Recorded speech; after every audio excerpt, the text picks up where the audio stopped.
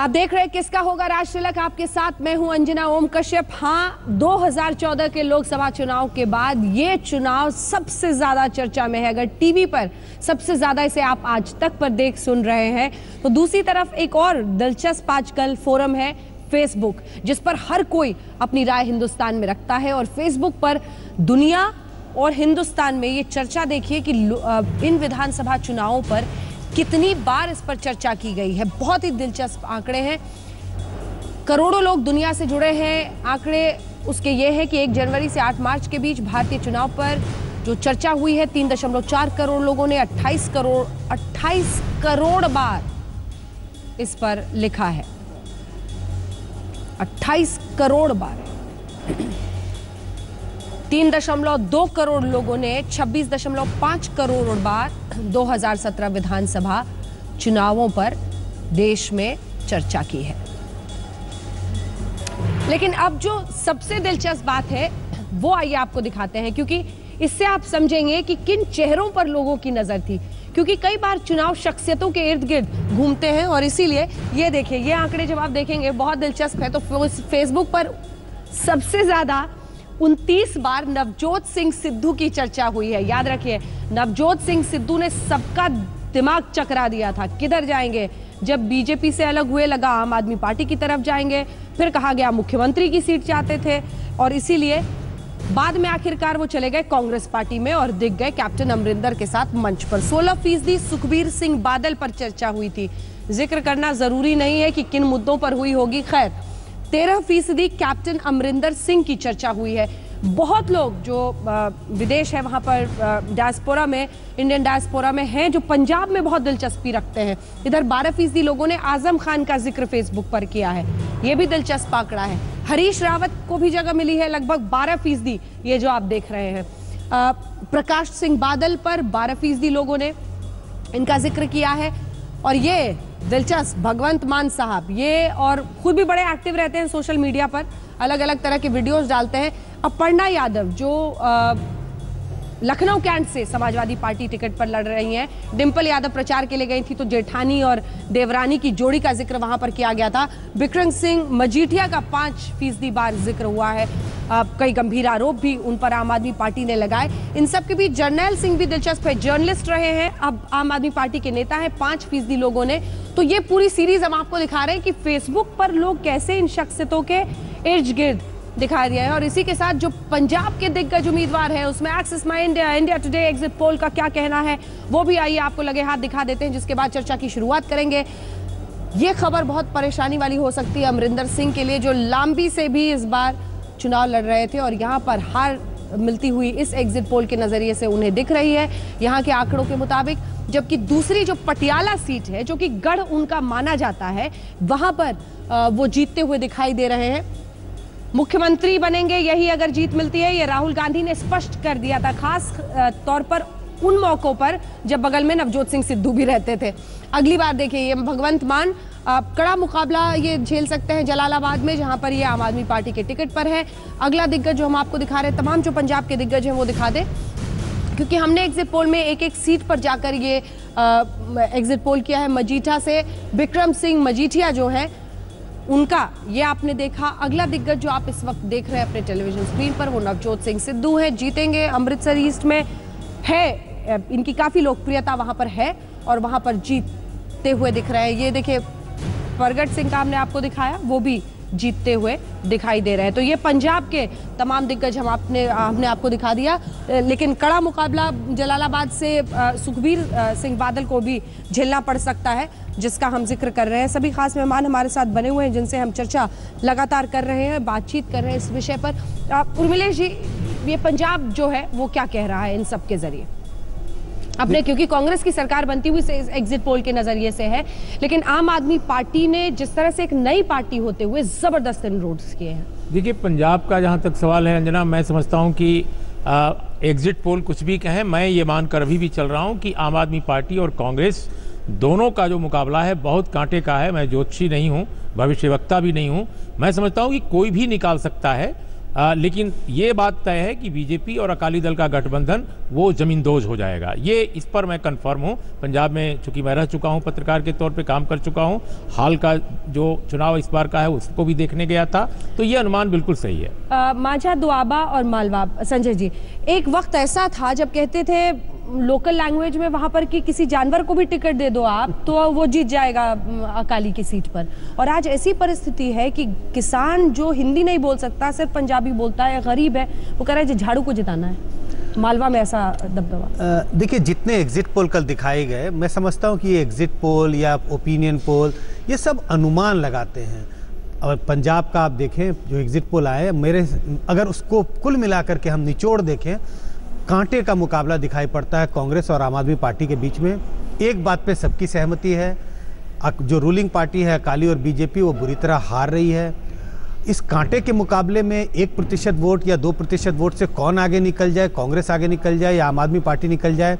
इस पर शायद भरोसा करना एग्जिट पोल पे कि बिल्कुल यही कांग्रेस ही आगे है या आम आदमी पार्टी ही आगे थोड़ा मुश्किल है लेकिन कांटे का मुकाबला है। ठीक है विवेक जी क्विक कमेंट फिर इस- हाँ, दोनों मैं नेता जुड़े हुए हैं। हाँ मैं ये कहना चाहूँगा कि कांग्रेस इसलिए आगे लगती है क्योंकि उसके पास एक सिख चेहरा है जो कि वहाँ का है पुराना तपा तपाया है और दूसरा मालवा के अंदर तीनों दिग्गज जो पार्टियाँ हैं उनकी लड़ाई थी। लेकिन क्या हुआ कि जो अकाली दल की एंटी इनकम्बेंसी है उसमें आम आदमी पार्टी को मिल रहा है लेकिन एक बड़ा डिवाइड जो वो पंजाब में दिखाई पड़ता है वो वाल्मीकियों और राम दसियों में है और एक बार जब झाड़ू आ जाता है चिन्ह तो उससे रामदासी लोग अलग हट करके कांग्रेस की तरफ़ चले गए हैं। ये बाकायदा दुआबा में देखा गया और तो इसलिए मुझे लगता है कि कांग्रेस को एज है। ठीक है। इलाके में भी विवेक हाँ। जी की बात से सहमत हूँ। एज कांग्रेस को है लेकिन मुकाबला टक्कर का है। मुकाबला टक्कर का है और यही ज़्यादातर एग्जिट पोल इशारा भी कर रहे हैं अगर हम देखें तो। क्योंकि कितना भी बड़ा सैंपल साइज़ ले लीजिए उत्तर प्रदेश जैसी जगहों पर आप एक एक बूथ पर कितने लोगों तक पहुँच पाएँगे? अगर पचहत्तर हज़ार भी है बहुत कम आंकड़ा होता और है। बोलने वाले लोग कौन होते हैं? हाँ। जो सबसे अधिक सर्वेयर से बोलते हैं हाँ। आमतौर पर इलाके के या उस क्षेत्र के ज़्यादा पढ़े लिखे ज़्यादा समृद्ध और दबंग लोग होते हैं। जो गरीब आदमी है वो बोलता भी नहीं है कि किसको वोट दिया। ये सच्चाई है। ये आपकी राय है। मेरी निजी राय ये आपकी राय है। चलिए ठीक है चलते हैं। शाहनवाज जी हमारे साथ हैं रविदास मेहरोत्रा जी हमारे साथ हैं। और शाहनवाज जी चूँकि आते ही मैंने एक तरफ़ बधाई दी आपको तीन राज्यों के एग्जिट पोल के नज़रिए से ही सही कल का इंतज़ार करना भी ज़रूरी है। लेकिन हमने पंजाब पर आपसे सवाल पूछ लिया है तो रुख वापस उत्तर प्रदेश का ही करते हैं। रविदास मेहरोत्रा जी भी हमारे साथ हैं। शाहनवाज हुसैन साहब मुख्यमंत्री कौन होगा?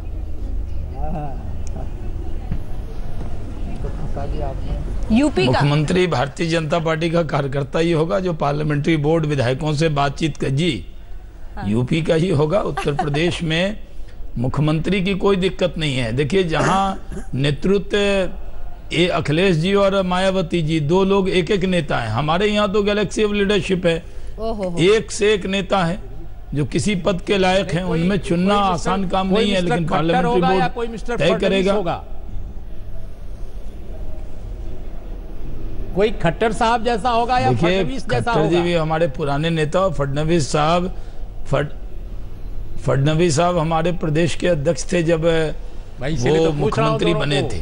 अलग अलग तो कोई तय करेगा ये पार्लियामेंट्री बोर्ड ही तय करेगा। मैं इसलिए मैं इसलिए कह रहा हूँ पार्लियामेंट्री बोर्ड तय करेगा मेरा कोई रोल नहीं है वो तय करने में। मैं केंद्रीय चुनाव समिति में तो हूँ जहाँ विधायक सांसद का टिकट तय होता है लेकिन पार्लियामेंट्री बोर्ड का की तरफ़ से मैं अधिकृत नहीं हूँ बताने के लिए। न कयास लगाने के लिए भी मैं अधिकृत हूँ। ठीक है। आपकी दुविधा हम समझ सकते हैं।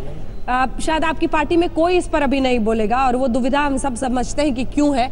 रविदास मेहरोत्रा जी आप बताइए अगर नहीं अगर, ये सवाल पूछिए हाँ। ही। मत। मैं तो मानता हूँ कि पार्लियामेंट्री बोर्ड पे छोड़ दीजिए। सोल सर्चिंग नहीं कई राज्यों में आप गए थे चेहरे के साथ इसलिए सवाल पूछना है और आप तो लोकसभा चुनाव में गए थे सबसे बड़े चेहरे के साथ। तो दोनों स्ट्रैटेजी आपकी पार्टी ने अपनाई है। एक एक सीट का एग्जिट पोल हम दिखा रहे हैं। रविदास मेहरोत्रा जी एक एक, एक छोटा सा कमेंट में जल्दी से आपसे चाहती हूँ जिसके बाद हम चलेंगे आगे। ये अखिलेश यादव ने क्यों कल ही कह दिया कि अगर हाथ मिलाना पड़े तो मायावती से मिलाएँगे? आप अपने निजी दर्द की वजह से कुछ बातें बोल गए कांग्रेस के बारे में लेकिन आप भी कह रहे हैं कि आप ही की सरकार बन रही है।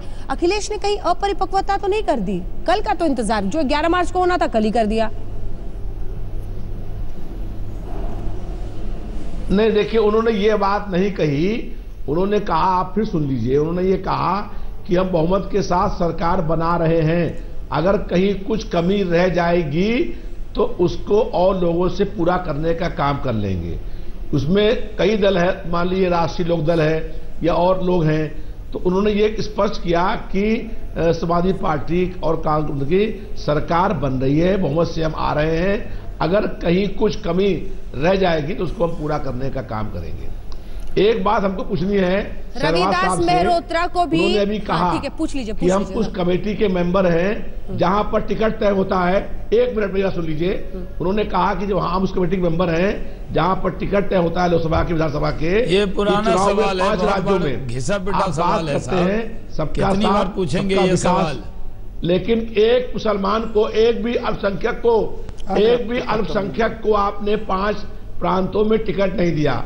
आप स्वयं जी, जी, मैं जवाब दे दूँ, जी। हैं। उसके बावजूद भी पाँच प्रांतों में किसी एक भी अल्पसंख्यक को टिकट देने का काम नहीं किया आपने। दुखती रग पर उन्होंने भी हाथ रख दिया। और आप कहते हैं सबका साथ सबका विकास। नहीं नहीं हम मैं जवाब दे दूँ इनका। जी सवाल आ गया आपका मैं जवाब दे देता हूँ। जी जी। बात यह है कि एक तो हमने मणिपुर में डिलोंग से टिकट दिया है जानकारी करेक्ट करें। दूसरी बात यह है कि क्या देश को मालूम है जो दर्शक आज तक देख रहे हैं कि पिछली लोकसभा में और इस लोकसभा में भी समाजवादी पार्टी जो मुस्लिम वोट पर बहुत दावा करती है एक भी मुस्लिम सांसद पिछली लोकसभा में भी जिता के नहीं लाई थी अभी भी नहीं लेकर आई। आप यादव परिवार के अलावा एक सांसद नहीं भेज सकते। टिकट तो आपने आज़म खान को मुख्यमंत्री का तो कैंडिडेट क्यों अनाउंस कर दिया था? तो लोग बहुत फ़र्क है या कांग्रेस पार्टी ने आज तक आज़ादी के बाद कांग्रेस का राष्ट्रीय अध्यक्ष क्यों नहीं अनाउंस कर दिया नहीं? ये हम धर्म के नाम पर टिकट नहीं बांटते हैं हम जब- जब- जब- हमारे जब बहस यहाँ से में नकवी जाए- साहब नकवी साहब है एमजे अकबर साहब है ये सब राज्यसभा के अंदर है ये मालूम नहीं आपको हैं। वो- शहनवाज सर नहीं नहीं हमारे आपने माइनॉरिटी को टिकट ना दलितों के मन में भी डर भर दिया है। कि अगर उनका रिजर्वेशन नहीं होता तो शायद आप तो उनको भी टिकट नहीं देते। कोई देखिए हम चलिए जब जब बहस यहाँ पर पहुँच जाए कि तेरे कितने मुसलमान मेरे कितने मुसलमान तो समझ जाइए कि चुनाव में यही वो तरीका है हिंदुस्तान का जो हमेशा परेशान भी करता रहा है लेकिन वोट भी दिलाता रहा है और इसीलिए न वो बाज आते हैं न हम बाज आते हैं। एक छोटे से ब्रेक के बाद फ़ौरन लौट रहे हैं आप देखते रहिए आज।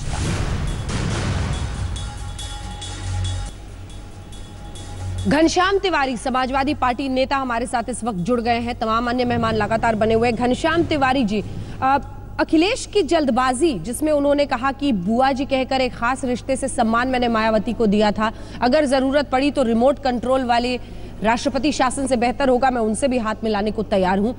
लगभग इन एग्जिट पोल्स पर मुहर लगाती हुई या फिर उससे प्रभावित होता हुआ उनका एटीट्यूड क्या कहता है?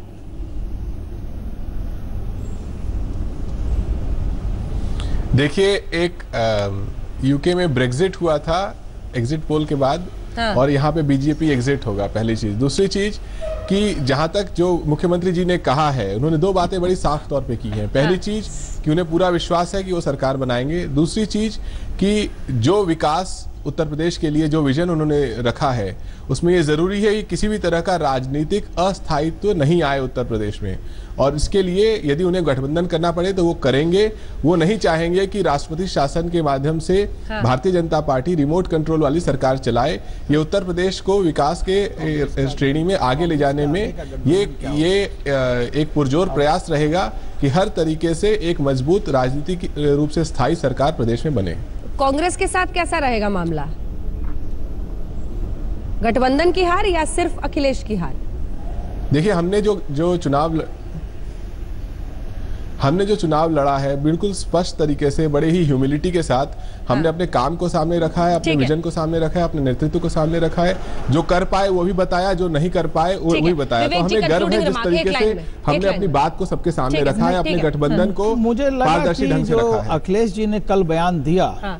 और उसमें एक तो कांग्रेस की सहमति शामिल नहीं थी हाँ। क्योंकि गठबंधन का एक अपना स्वरूप होता है हाँ। जिसमें दोनों अगर बातें करते कि हाँ कर लेना चाहिए था, था। बिल्कुल। कर लेना चाहिए दूसरा या दूसरा इससे हाँ, जो हाँ, काउंटिंग में जो बैठा हुआ व्यक्ति है काउंटिंग में सपा की तरफ़ उसका मुराल। उसका मुराल का क्या होगा ये भी सोचना पड़ेगा। ठीक है तो रुकना चाहिए था यही राय बनती हुई दिखाई दे रही है। अब रुकना क्या है? बस कुछ घंटों का इंतज़ार है। कल सुबह से आज तक पर लगातार नतीजे सबसे पहले सबसे विश्वसनीय तरीके से आपके सामने आते रहेंगे। देखते रहिए आज तक। Thank you